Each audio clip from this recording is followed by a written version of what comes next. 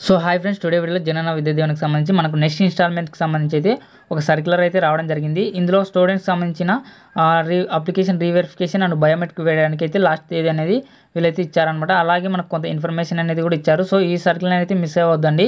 సర్క్యులర్లో మనకు మనకు మనకి ఎవరైనా ఏమైనా ఇన్ఎలిజిబుల్ ఉంటే మనకు అబ్జెక్షన్ చేయడానికి అండ్ రీమార్క్ చేయడానికి కొన్ని తేదీలు కూడా ఇచ్చారనమాట సో ఆ తేదీ వైజ్గా అయితే మనకు ఈ వీడియోలో అయితే చెప్తాను. సో మీరైతే ఈ వీడియోని అయితే స్కిప్ చేయకుండా చివరిదాకా అయితే చూడండి. ఫ్రెండ్స్ మనకి ఇక్కడ చూడండి ఈ సర్క్యులర్లో ఫస్ట్ ఆఫ్ ఆల్ ఇక్కడ సర్క్యులర్లో అయితే మనకి జనవరి టు మార్చి రెండు వేల ఇరవై రెండు క్వార్టర్కు వాటర్ విద్యా దీవెన స్కీమ్కి సంబంధించి ఒక సోషల్ ఆడిట్ని అయితే వీళ్ళైతే నిర్వహిస్తున్నారనమాట ఎందుకంటే ఈ సోషల్ ఆడిట్ అనేది ఎవరైతే ఎలిజిబుల్ క్యాండిడేట్స్ ఉన్నారో వారు అండ్ ఇన్ఎలిజిబుల్ క్యాండిడేట్స్ ఉన్నారో వారు ఇద్దరు కూడా ఎంతమంది అయితే ఉన్నారో వీరిద్దరిలో వారిని అయితే తొలగించడం కోసం ఇన్ఎలిజిబుల్ వారిని అయితే తొలగించడం కోసం అయితే వీళ్ళైతే ఈ సోషల్ ఆడిట్ని అయితే నిర్వహిస్తున్నారనమాట ఎందుకంటే ఈ నెక్స్ట్ ఇన్స్టాల్మెంట్కి సంబంధించి మనకు విద్యా దీవెనకి సంబంధించి మే నెలలో అయితే అమౌంట్ అనేది వేస్తారని చెప్పేసి మనకైతే ఇక్కడైతే మెన్షన్ చేశారు. బట్ పర్టికులర్ డేట్ అయితే మనకైతే ఇక్కడైతే ఇవ్వలేదు అనమాట అండ్ ఈ పథకానికి సంబంధించి త్వరలోనే అప్లికేషన్ అనేది రివెరిఫికేషన్ చేస్తారు. అండ్ అలాగే ఎలిజిబుల్ లిస్ట్ అనేది కూడా వీలైతే మనకైతే సచివాలయంలో అయితే ఇస్తారనమాట సచివాలయంలో మనకైతే మెన్షన్ చేస్తారనమాట అండ్ ఈ ఎలిజిబుల్ లిస్ట్ వచ్చాక మనకు బయోమెట్రిక్ వేయాలని చెప్పేసి వీళ్ళైతే ఇక్కడైతే మనకైతే మెన్షన్ చేశారు. సో ఈ సర్క్యులర్లో మనకి అమౌంట్ రిలీజ్ చేసే తేదీకి లోపు మనకు కొంత ప్రాసెస్ అనేది డేట్స్ వైజ్గా అయితే ఇచ్చారనమాట సో నేను ఇప్పుడు చెప్పాను కదా మనకి కొంత ప్రాసెస్ అది ఇంపార్టెంట్ ప్రాసెస్ అండ్ డేట్స్ వైజ్గా ఉన్నాయని.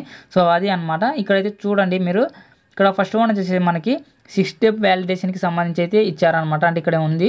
సో ఇది సిక్స్ స్టెప్ వ్యాలిడేషన్ అంటే మన కుటుంబంలో ఏమైనా గవర్నమెంట్ గవర్నమెంట్ ఎంప్లాయీస్ ఉన్నా లేకపోతే ఏమైనా ల్యాండ్ ఎక్కువ ఉన్నా లేకపోతే ప్రభుత్వానికి ప్రభుత్వానికి ఎంప్లాయీస్కి సంబంధించి ఏమైనా పింఛన్ వస్తుందా అని చెప్పేసి మనకైతే ఈ ఇలా ఏమైనా ఎక్స్ట్రా సమ్ డీటెయిల్స్ ఉన్నా లేకపోతే ఏమైనా మనకి అమౌంట్ రాకపోయినా లేకపోతే సమ్ ఇష్యూస్ ఉన్నా కానీ మనకి అన్ని కూడా ఈ సిక్స్టీ వ్యాలిడేషన్ అనేది ఈ జ్ఞానభూమి టెక్నికల్ టీం అనేది మనకైతే వెరిఫై చేస్తారనమాట సో ఈ జ్ఞానభూమి పోర్టల్ మనకు సిక్స్ డే ఈ విధంగా అయితే వెరిఫై చేస్తారు. ఇది కూడా ఎప్పుడు చేస్తారంటే మనకి రెండు వేల ఇరవై రెండు ఏప్రిల్ ఇరవై ఒకటవ తేదీన అయితే మనకు ఈ సిక్స్ డే వ్యాలిడేషన్ అనేది చేస్తారు. అండ్ నెక్స్ట్ వన్ వచ్చేసరికి మనకి సెకండ్ వన్లో వచ్చి నెక్స్ట్ ఏప్రిల్ ఇరవై రెండవ తేదీన అయితే మనకి ఎలిజిబుల్ అండ్ ఇన్ఎలిజిబుల్ లిస్ట్లో ఉండే వారందరూ కూడా నవశకం వెల్ఫేర్ లాగిన్లు అయితే వస్తాయన్నమాట. అంటే వారి పేర్లు అనేది అక్కడ వస్తాయి. అలా ఇన్ఎలిజిబుల్ వచ్చిన వారు ఉంటారు కదా. వారు ఏమైనా అబ్జెక్షన్ పెట్టినట్లయితే ఆ వివరాలు అనేది ఈ వెల్ఫేర్ అసిస్టెంట్ ఇక్కడ వెల్ఫేర్ అసిస్టెంట్లు ఉంటారు కదా వాళ్ళైతే తీసుకుంటారనమాట మీరు ఏమైనా అబ్జెక్షన్ చేసినా వారైతే ఏదైతే అబ్జెక్షన్ తీస్తున్నారో వాళ్ళైతే ఈ వెల్ఫేర్ అసిస్టెంట్కి అయితే మనం ఇవ్వాల్సి ఉంటుంది.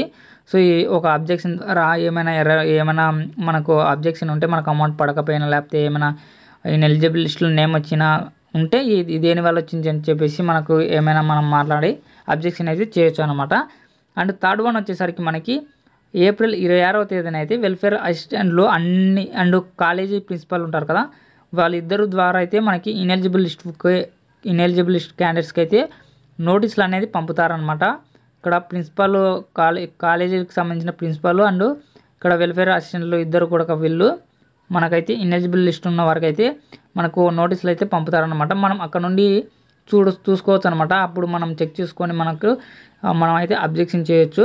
అండ్ ఫోర్త్ వన్ వచ్చేసరికి మే నాలుగవ తేదీన అయితే మనం ఎవరైతే ఇన్ఎలిజిబుల్ నోటి మనకి ఇన్ఎలిజిబుల్ క్యాండిడేట్స్ ఉంటారో వాళ్ళు అబ్జెక్షన్ పెట్టింటారు కదా. ఆ పెట్టిన వారికి అయితే సంబంధించి రిమార్క్స్ అనేటివి ఏవైతే ఉంటాయో ఆ అబ్జెక్షన్లో అవి ఎంటర్ చేస్తారనమాట వెల్ఫేర్ అసిస్టెంట్లు వాళ్ళు ఎంటర్ చేసి నెక్స్ట్ మనకి MPDO officer and municipal commissioner లాగిన్కి అయితే వీళ్ళైతే ఎంటర్ చేసి పంపుతారనమాట అక్కడ నుండి మనకి. సో అండ్ ఫిఫ్త్ వన్ వచ్చేసరికి మనకి మే తొమ్మిదవ తేదీన అయితే ఇన్ఎలిజిబుల్ క్యాండిడేట్స్ ఎవరైతే ఉన్నారో వారి డీటెయిల్స్ ఎంపీడీఓ లాగిన్లో అయితే డిస్పాసల్ చేస్తారనమాట నెక్స్ట్ వచ్చేసరికి మనకి ఇక్కడ ఫైనల్ ఎలిజిబుల్ లిస్ట్ అనేది మనకైతే అక్కడ ఉంటుందన్నమాట. సిక్స్త్ వన్ వచ్చేసరికి మనకి ఏప్రిల్ ఇరవై రెండు నుండి అయితే మే తొమ్మిది వరకు కూడా స్టూడెంట్ బయోమెట్రిక్ అథెంటికేషన్ అనేది కంప్లీట్ చేయాల్సి ఉంటుంది. ఇక్కడ ఇదైతే చాలా ఇంపార్టెంట్ ఫ్రెండ్స్ మనకి ఆల్రెడీ మనకి ఇక్కడ వసుదేవునికి సంబంధించి బయోమెట్రిక్ అథెంటికేషన్ అనేది ఎనేబుల్ అయింది అనమాట సో ఇప్పుడైతే అమౌంట్ ఎవరైతే వసుదేవన పడిందో వాళ్ళందరూ కూడా బయోమెట్రిక్ అయితే మదర్స్ పోయి వేయి వేస్తున్నారు అనమాట వెళ్ళి వేస్తున్నారు. సో మీరు మనకి ఇలా బయోమెట్రిక్ అథెంటికేషన్ ఇస్తేనే మీకు అమౌంట్ అనేది కూడా పడుతుంది. సో చాలామంది అయితే బయోమెట్రిక్ అథెంటికేషన్ అనేది వేయట్లేదనమాట. సో మీరైతే ఇక్కడ చూడండి డేట్ వైజ్గా ఏప్రిల్ ఇరవై రెండు నుండి మే తొమ్మిది వరకు అయితే కూడా ఉంది. సో మీరైతే ఎవరైనా సరే ఎలిజిబుల్ లిస్ట్లో పేరు మీ మీ నేమ్ ఎవరైతే వచ్చింటుందో వారు అందరూ కూడా బయోమెట్రిక్ అథెంటికేషన్ అనేది సచివాలయంలోకి వెళ్ళి వేయండి ఇంతకుముందు అయితే కాలేజీలో వేస్తుండ్రి బట్ ఇక్కడ ఇప్పుడైతే ప్రజెంట్ అయితే ఇక్కడైతే మనకు వెల్ఫేర్ ఆఫీసులు మనకు సచివాలయంలోనే ఇచ్చారనమాట సో మీరైతే సచివాలయంలోనే వేయండి. సో నెక్స్ట్ వన్ వచ్చేసరికి సెవెంత్ వన్ మే పదవ తేదీన అయితే జ్ఞానభూమి పోర్టల్లో మనకి ఫైనల్ ఎలిజిబిలిస్ట్ అనేది వీళ్ళైతే విడుదల చేస్తారనమాట అండ్ ఎయిత్ వన్ వచ్చేసరికి మనకి ఏప్రిల్ ఇరవై ఆరవ తేదీన ఆల్ యూనివర్సిటీ కాలేజ్ అన్నీ కూడా అంటే మనకి జనవరి టు మార్చి అంటే మూడు నెలలకు సంబంధించి ఫీజు ఎంత అయ్యిందో అంత అమౌంట్ కూడా కౌంట్ చేసి స్టేట్ గవర్నమెంట్ స్టేట్ మేనేజ్మెంట్కి అయితే వీళ్ళైతే పంపుతారనమాట ఆ వివరాలను చెక్ చేసి ఆ అమౌంట్ ఎంత అనేది వెరిఫై చేసి ప్రభుత్వానికైతే ఈ స్టేట్ మేనేజ్మెంట్ అయితే పంపుతుందన్నమాట.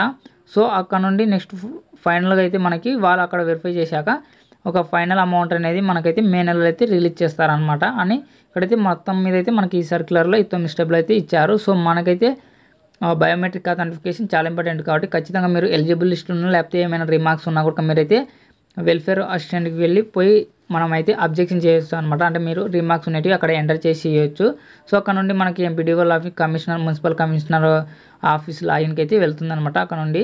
సో మీరైతే అక్కడ నుండి వెరిఫై చేశాక మళ్ళీ నేమ్ అనేది ఫైనల్ ఎలిజిబుల్ నేమ్ అనేది మనకైతే ఇస్తారు. సో మీకు ఈ విధంగా అయితే ప్రాసెస్ అయితే సర్క్యులర్లు ఇచ్చారు. సో ఈ విద్య దీనికి సంబంధించి ఇది ఫ్రెండ్స్ అప్డేట్ అయితే మీకు కానీ ఈ నచ్చినట్లయితే లైక్ చేసి కామెంట్ అయితే ఇవ్వండి. Thank you friends